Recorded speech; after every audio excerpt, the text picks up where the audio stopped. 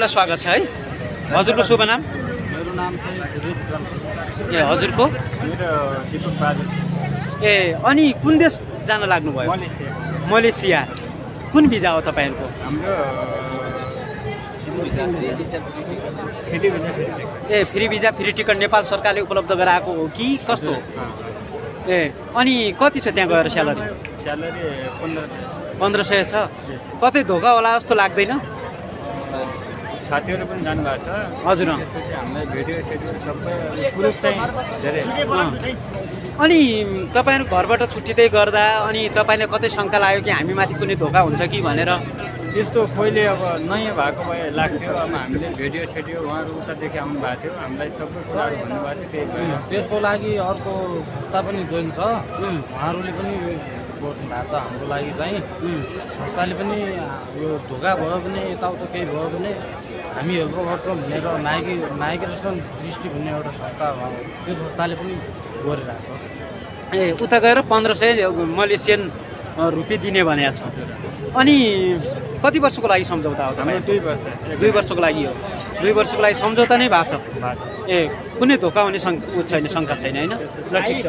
अर्को को हुनुहुन्छ? दुइटै हुनुभयो ओ, के छ भाइ? पनि भाइको नाम? मेरो नाम चाहिँ परिमल खत्री। ए घर चाहिँ जाजरकोट? जाजुरकोट नलगार नगरपालिका वडा नम्बर आठ। आठ। भूकम्पले कति क्षति गर्यो जाजरकोटमा? क्षति त धेरै गऱ्यो अनि भूकम्प गइसकेपछि तपाईँहरू रोजगारको खोजीमा विदेश जान लाग्नुभयो। हजुर। होइन? के अपेक्षा गर्नुभएको छ? सरकारले दिएको जो रोजगार भनिसक्नुभयो त्यसले के फाइदा दिन्छ?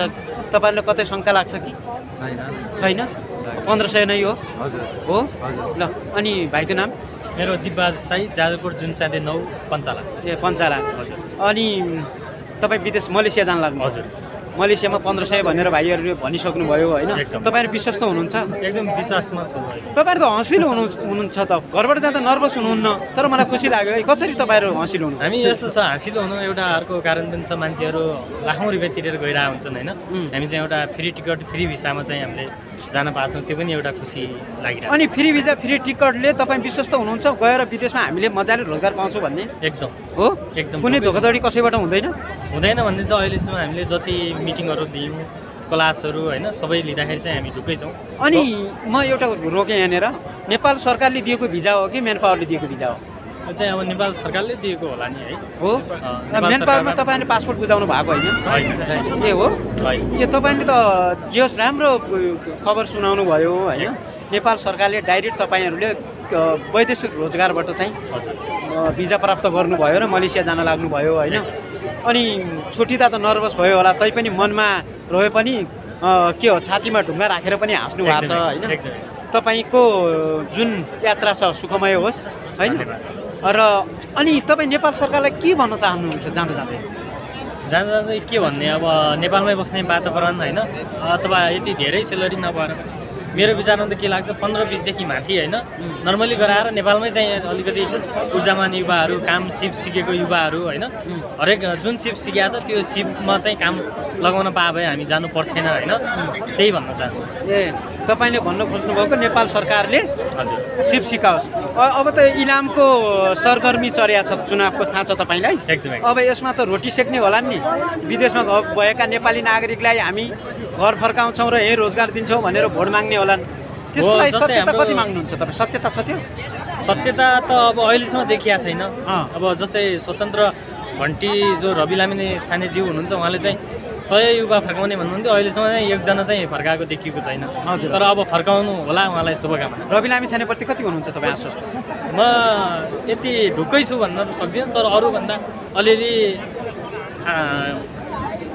के अरे विश्वास चाहिँ छ अलिअलि। तपाईँ बालेनसँग आश्वस्त हुनुहुन्छ कि रवि लामी छाने? बालेन जति त कोही पनि होइन। नि। हो?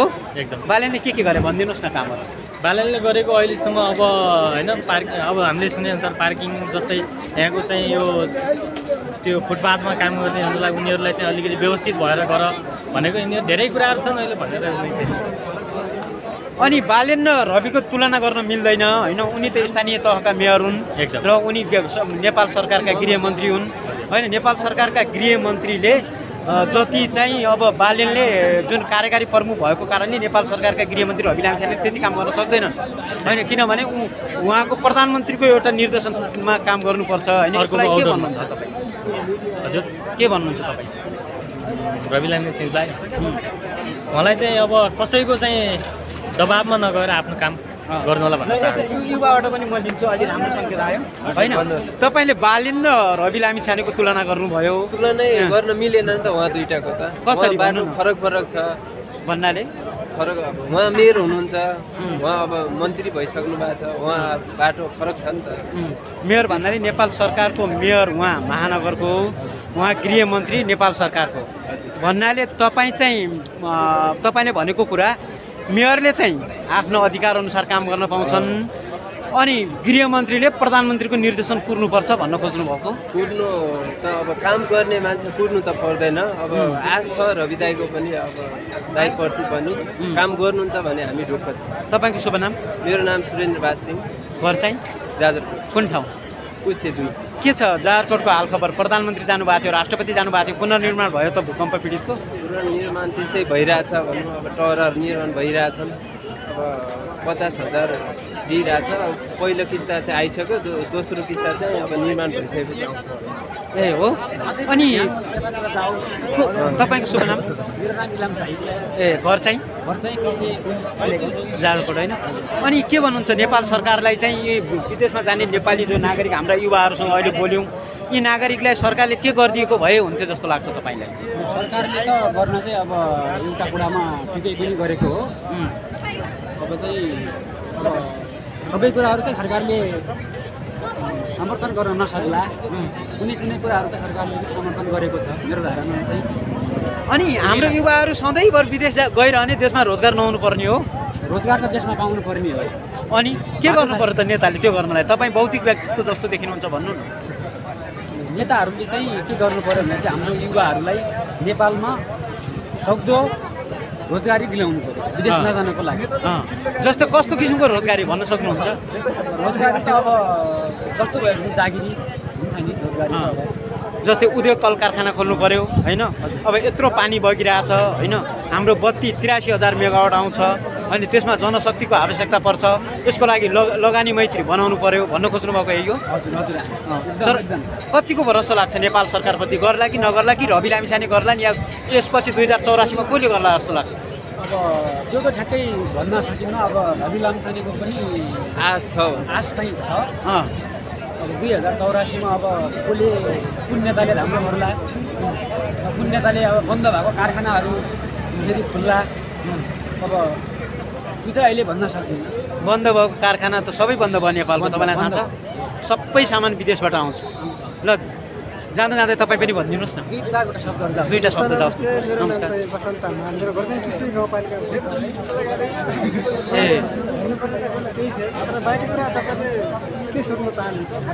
म सोध्न चाहन्छु देशमा त्यो त अब एउटा सङ्घीयताको कुरा हो सर है।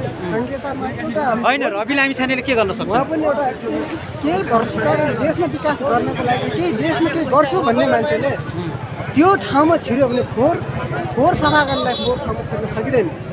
फोहोर ठाउँ फाल्नलाई हामीले के गर्नुपर्छ? डस्टबिनको प्रयोग गर्नुपर्छ। डस्टबिनको प्रयोग गऱ्यो भने बल्ल हाम्रो देश केही बन्छ। यदि रवि लामछाने गृहमन्त्री हुनुभएको छ आशा छ हामीलाई नयाँ व्यक्ति हो एउटा युवा हो उहाँ एउटा ओल्ड रेकर्ड राखेको मान्छे पनि उहाँप्रति हामी आशावादी छौँ। तर के हो भने त्यो संसदीय व्यवस्थामा गएर त्यो सङ्घीयतामा गएर खासै अहिले गर्नु जति रवि रविले गर्नुपर्ने काम सबै गर्न सक्नु भएको छैन नि त। जस्तै सुनकाण्डको कुरा निर्मला पन्थको कुरा। होइन उहाँले त ठुलो माछा पक्रिनु भयो नि। ठुला माछा साना माछा ती माछा त पहिले पनि देखिएकै त थिए देखिएको थिएनन् र तपाईँले हामीले न्युजमा सुनेकै कुरा हो। देखेकै तर के हो तिनीहरूको छानबिन चाहिँ भइरहेको छ। तर के भ्रष्टाचार अलि न्यून चाहिँ भएको छ तर वास्तविक शून्य चाहिँ हुन सकेको छैन। ल धन्यवाद हस् धन्यवाद।